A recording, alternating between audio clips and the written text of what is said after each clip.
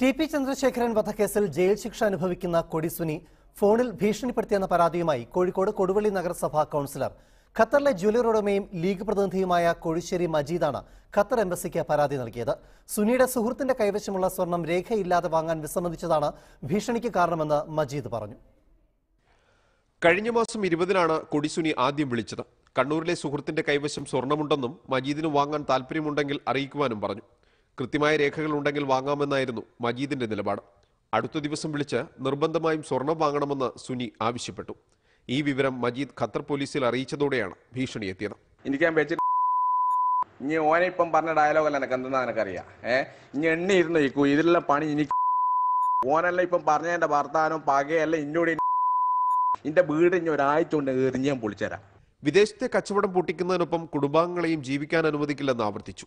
നിയമപരമായി നേരിടുമെന്ന് അറിയിച്ചതോടെ വിളി മൂന്ന് തവണയിൽ ഒതുങ്ങി. എംബസിയിൽ പരാതി കൊടുക്കാൻ വേണ്ടി ഞാൻ ടൈപ്പ് ചെയ്തു. എല്ലാം റെഡിയാക്കി സീലർ സൈൻ ചെയ്യിപ്പിച്ച് അവിടെ വെച്ചിട്ടുണ്ട്.